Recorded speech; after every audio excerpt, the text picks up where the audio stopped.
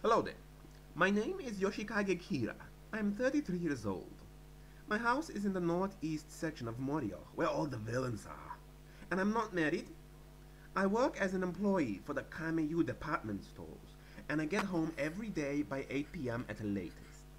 I don't smoke, but I occasionally drink. I'm in bed by 11 p.m. and make sure I get 8 hours of sleep no matter what. After having a glass of warm milk and doing about 20 minutes of stretches before going to bed, I usually have no problem sleeping until morning. Just like a baby, I wake up without any fatigue or stress in the morning. It's great.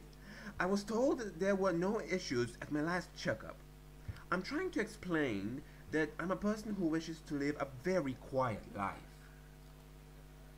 I take care not to trouble myself with any enemies, like winning and losing, that that would cause me to lose sleep at night. That is how I deal with society, and I know that is what brings me happiness.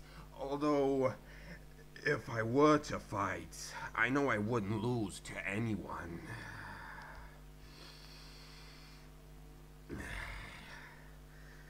Sheer heart attack has no weaknesses. Actually, I am a stand user. Killer Queen is what I've named it, and I would never lose to anyone. Sheer heart attack! Ah! Vitamin C, you must die. I can't leave any witnesses alive, no matter what. No one is allowed to know the identity of Yoshikage Kira. There has never been any trouble that I, Yoshikage Kira, was unable to overcome.